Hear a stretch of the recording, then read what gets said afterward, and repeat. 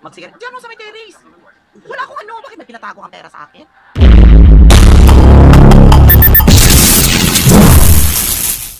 Carla, bigyan mo yan siya, Carla. Sige, tapos tapos wala nang naligo. Magawa ko din sa bahay mo. Ay, di ba? Ginahanap ka ni Carla. Di ba? Hinahanap ka niya lagi. Lagi ka niya mamisa. Pwede ka sinumbes siya. Ikat mo yun. Saan ang, tan ang tanong? Sagot. Mush. Oh. Ito ang unang tanong. Mush. At paano mo ito masasagot? Ipapranks po namin yung isa sa mga kaibigan namin. So, sa Davao siya ngayon. So, so ano pwede nating ano, topic? Siguro ay topic natin. Yung papranks talaga siya, so nga, yung Sandali Anal. siya, ganito, Oh, sandali. ganyan. Mel Chanko. Huwag mo, eh, sige, hanapin mo, pero ano, topic? Mel dito? Baka MH. Besh! Open ka na sir, na. hindi man, yung ano ba, tawagan hindi sa messenger. Ay, nam, nam. Ano nakapangalan? Nakalagay dyan, Mel, pero sir, na. Malaking liter. Ate, ganun. Mel de Leserna. So, yan na. So, Ay, nakaritaray! Naglabas na lang ang sweater so, mag-worry siya, ganito, ganyan. Ikaw unang usap sa kanya. Kasi, hindi ba, nag-block na ba ako? Ay, galit pa rin. Oh, Ay, ay, oo. Go. Go. Hindi, hindi pwede yan. Huli siya kasi. Oh, Then, tapos, hindi- abuse. Tapos, nasa atin dalawa ang cellphone niya. Oo. Oo, ganyan ha. We go. Ah, sa kasalukuyan po mga kaigat, ah, dinadaya na po namin yung number ni Mel. Ayan. Patayin mo na muna yung TV. So, ongoing pa rin yung kalakaran. Ay, ah, ano ba? Ba't hindi niya sila ata ang mabiktima? ah, ah, ng tao ngayon. Ito po si Mel. Ah, nag-reach na siya. Uulitin natin ha. Mm. Bayot may utang sa alam mangutang sa kanya. I-text mo kaya si Jackie at saka si, ano ito, si Jackie at Kasi saka man niya, alam naman niya. Ano ba ito? Bakit ayaw tayo sa Hindi, i-text mo muna siya. Sabi mo, Siguro, ay katawag. hindi. Kuha na lang, i-text mo muna. Eh, bakit nakasave dito? Pwede naman ako mag-message. Ah, kaya pala yung Jenny, tubaga Ikaw mo ka eh. Parinig mo sa mga kaigat. Hello, ibang phone naman ang gamit. So, siya. Tingnan Niya sagutin? Iniisip, alam mo, uuwi naman ipaprank namin si Mel. Ngayon, iniisip niya siguro, ano, yung unang phone na ginamit namin kanina, kay Kenny kayon. Okay, Karidad, sagutin mo. Napaka-uwi mo naman.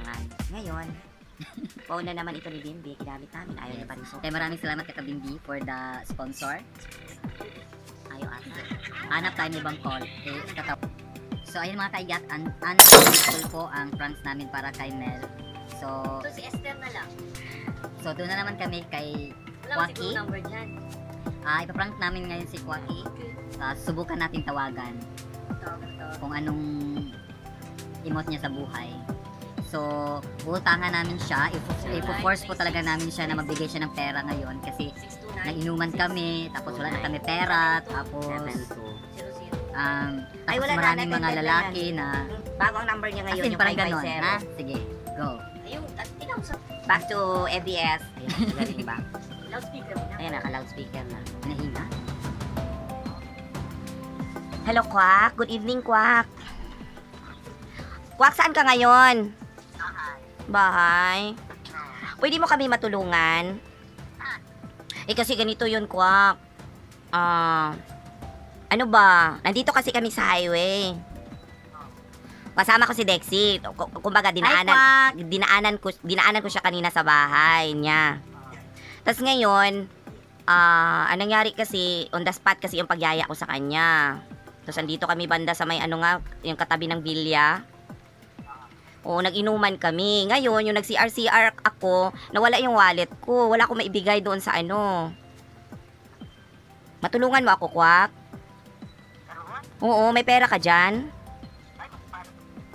Ah, si, si Dexy wala rin kasi dala pera.